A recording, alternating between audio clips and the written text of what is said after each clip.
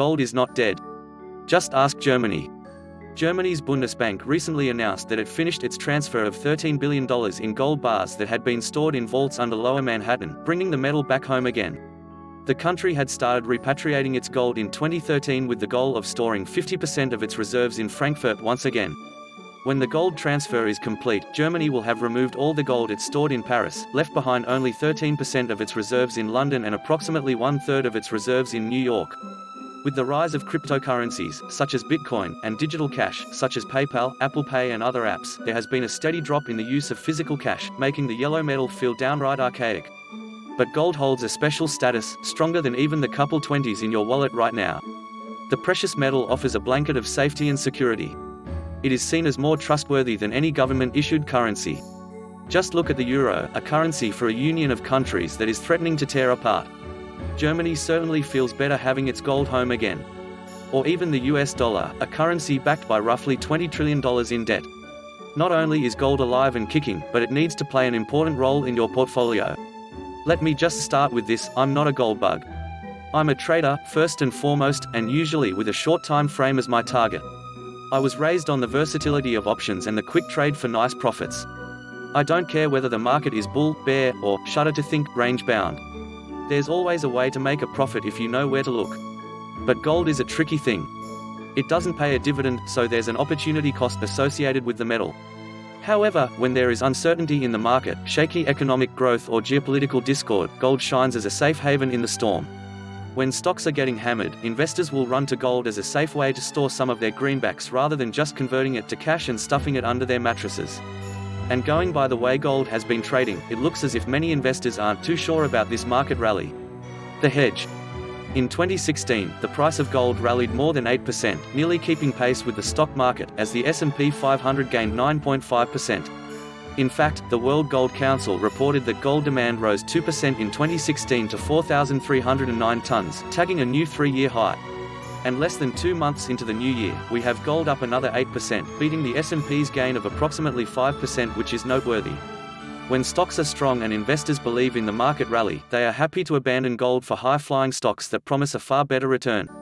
For example, during the dot-com bubble, the S&P 500 rallied from January 1995 through September 2000 by more than 200%.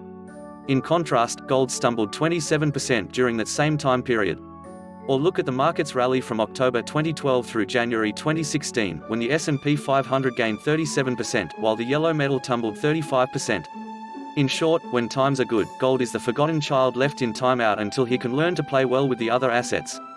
And when times are bad, gold is the prodigal son offering security and protection. So if the stock market is trading at all-time highs and regularly setting new records, why is gold still shining as a favorite? The financial market has its fair share of potential stumbling blocks that could send everything tumbling sharply lower. Let's look at a quick list. Stocks are overvalued. We recently explained that, according to traditional measures, stocks are painfully overvalued, and we are setting up for a reversion to the mean. Washington in turmoil.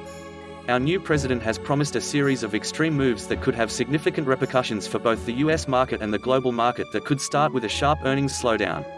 The next exit in Europe. The EU and UK are stumbling their way through Brexit as well as major upcoming elections, Italy, Germany, the Netherlands and France.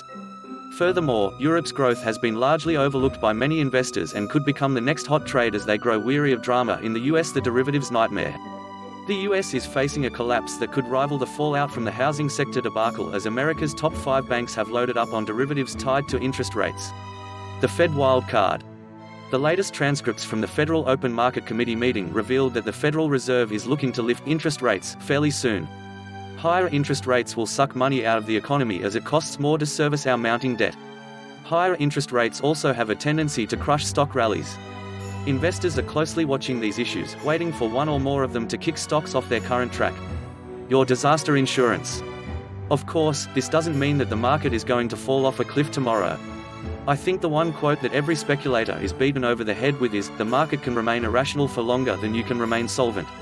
In short, just because a stock or index has risen to all-time highs doesn't mean it can't keep going higher, even if it doesn't make logical sense to you and me. But it doesn't hurt to have a hedge in place to protect yourself when it all comes tumbling down. Gold remains the perfect hedge, your insurance against the Fed, Washington, reckless banks, Europe and even the black swan that hasn't even hit our radar yet. That's why gold is still shining as the favorite even during this year's stock market highs. Investors know they need a safe haven, just in case. Physical gold is your best option rather than investing in paper gold, such as exchange traded funds. No matter how you choose to add physical gold to your portfolio, the important part is that it is there, ready to be your safe haven when it all falls apart.